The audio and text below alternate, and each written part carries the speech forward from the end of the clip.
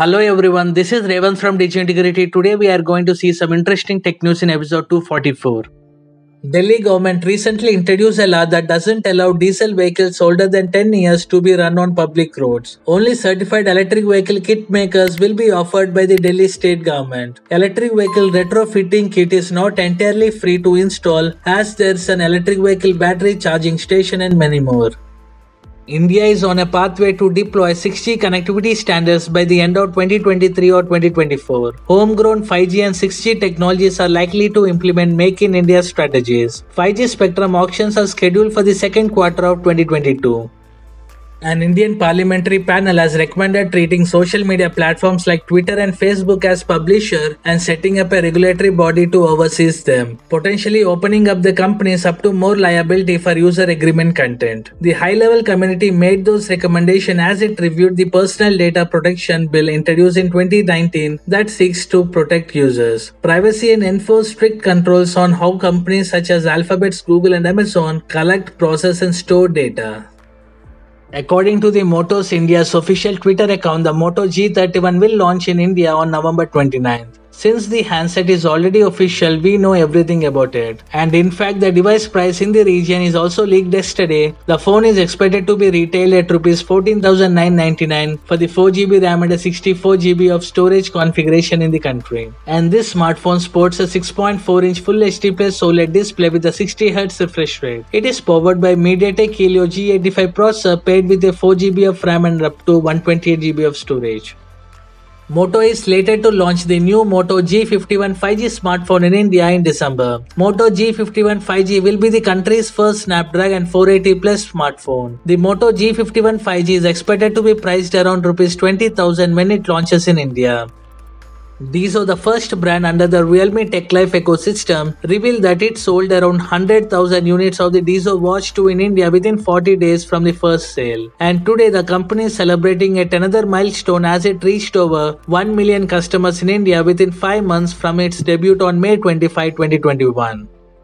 OnePlus Buds Z2 and OnePlus RT are expected to be launched in India next month. OnePlus Buds Z2 will come in Obsidian Black and Pearl White color options. OnePlus RT will come in Nano Silver and Hacker Black color options.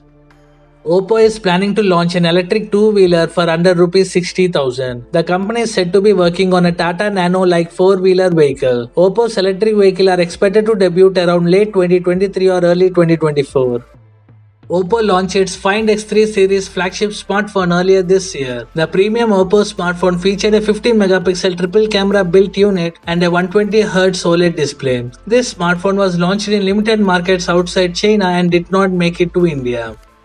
Oppo Watch Free to launch in India along with the Reno 7. The next generation true wireless earbuds are also expected to launch in India. Oppo Reno 7 series is rumored to arrive in India in January. Reliance Jio customer base drops to 428.3 million users. Jio lost nearly 6.6 million users in the rural India. Airtel adds around 0.27 million new customers. Samsung is looking into building a chip factory in Taylor, Texas as in talks with the local government. Well, we don't have to wait long for the official confirmation as today the Korean tech giant announced its new project.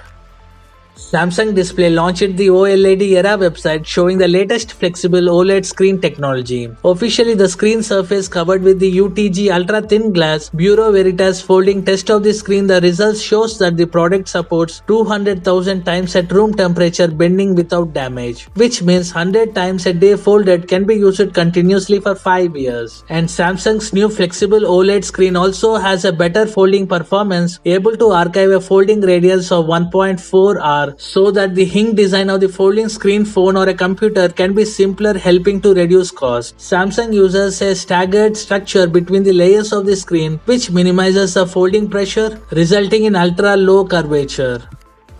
The next generation Android flagship will post scores over 1 million points in AnTuTu. A result coming from the soon to be unveiled Snapdragon 8 Generation 1 chipset seems to have achieved just such a score. There are as many as 4 Snapdragon 8 Generation 1 powered devices that can be announced before the end of this year. Those are called as Xiaomi 12 and Moto H30 Ultra seems to be shoe-ins. And there is a chance that we will see the OnePlus 10 Pro and a phone from the IQ as well. The chipset officially unveiled will be on November that yet, and we can expect to see Qualcomm's first customers make at least a brief appearance.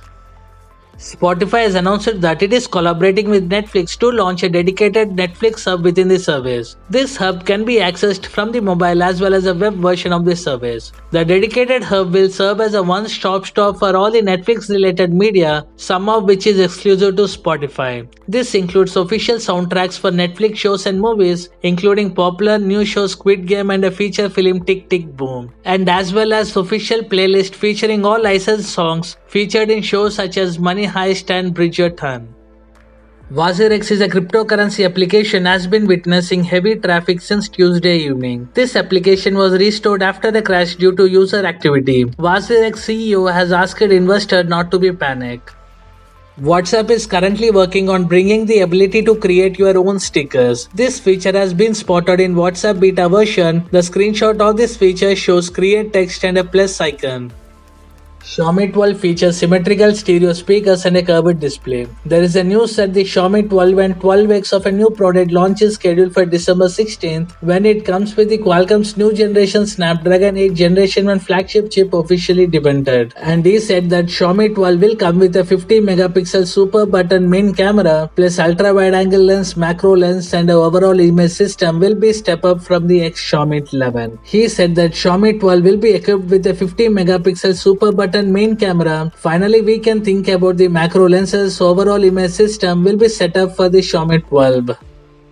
Xiaomi True Wireless 3 Pro is expected to launch in India in the coming months. This True Wireless 3 Pro earbuds comes with a support for LDHC 4.0 codec. These earbuds also feature adaptive active noise cancellation and spatial audio. The Xiaomi True Wireless 3 Pro currently retails in China for 699 Chinese yuan that is around rupees 8150. We expect Xiaomi to introduce them at a similar price considering the cutthroat competition in the under 10,000 True Wireless segments from Nothing, OnePlus, Sony and Oppo. Xiaomi 11T, 11T Pro and Redmi 10 2022 smartphones are set to launch in India shortly. Xiaomi is set to be testing the new Redmi Smartband Pro, Redmi Watch 2, Watch 2 Lite and Xiaomi Watch S1 Active in India. The expected launch date of these products are yet to be revealed.